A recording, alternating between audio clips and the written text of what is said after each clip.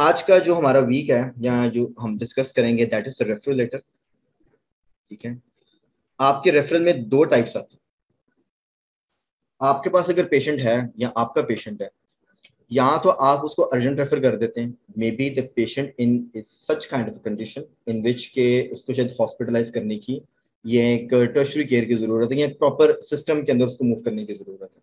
ताकि अगर उसका कोई भी प्रॉब्लम हो तो फ़ौरन से उसको डील किया जा सके। तो आप उसको हॉस्पिटल भेज दो।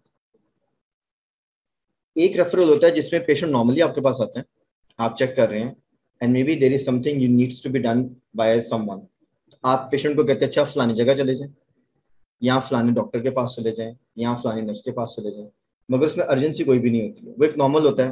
वो हो सकता है आज चला जाए, हो सकता है अपॉइंटमेंट मिले दस दिन के बाद की वो दस दिन बाद चला डजेंट मैटर ठीक है? मगर है कि आप उसको एक रिकमेंडेशन दे देते कि आप जाएँ और वहाँ से चेक करवाएँ और जो भी आपका चेकअप हो या जो भी आपकी डिटेल्स होंगी then you come back and then we will continue with the treatment urgent जब भेजते हैं इमरजेंसी के अंदर तो हॉस्पिटल वाले पेशेंट को रख तो नहीं लेते हमेशा के लिए। क्या ख्याल है?